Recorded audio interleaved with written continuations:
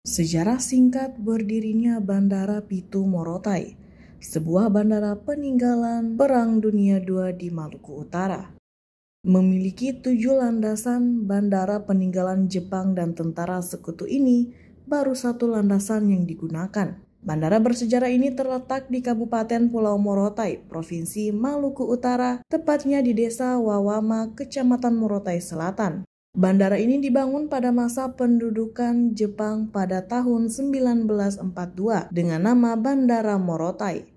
Setelah Jepang kalah dalam Perang Dunia II, bandara ini dikelola oleh tentara sekutu hingga tahun 1946. Waktu Jepang datang tahun 1942 lalu, dibangunlah dua runway atau landasan pacu. Setelah sekutu masuk di Morotai tahun 1944, mereka ambil alih dan membangun lima runway jadi total tujuh runway. Setelah kemerdekaan Indonesia, Bandara Morotai dioperasikan TNI Angkatan Udara dan dijadikan pangkalan udara.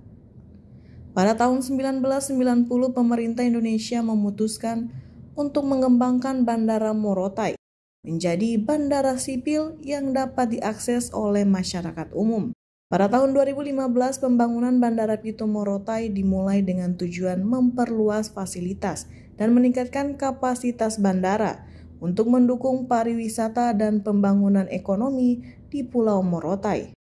Bandara Pitu Morotai resmi dioperasikan pada tanggal 10 November 2017 dan memiliki runway sepanjang 2.500 meter dan lebar 45 meter, serta dapat menampung pesawat jenis Airbus A32 dan Boeing 737. Sebagai bagian dari program pemerintah untuk mengembangkan pariwisata, Bandara Pitu Morotai menjadi pusat perjalanan wisata di wilayah Indonesia Timur.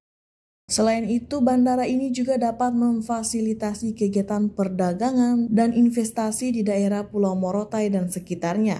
Pada Selasa 14 Maret 2023, reporter Tribun Ternate.com mencoba menelusuri bandara bersejarah itu.